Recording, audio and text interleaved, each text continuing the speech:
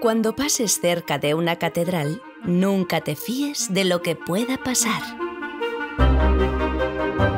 Candela es una adolescente que adora viajar. Ha recorrido montones de lugares y siempre acompañada de su cámara.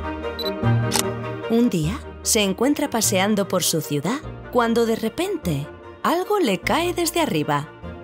Pues sí, una gárgola acaba de escupirle. Candela, muy curiosa e inquieta, sube para saber qué acaba de pasar y allí entrará en conversación con Fotógrafo, que hoy no solo le va a mostrar su casa, sino que le dará una importante lección.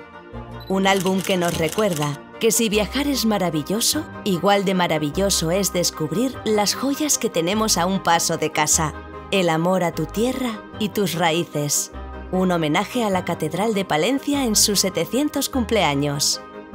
La Bella Desreconocida.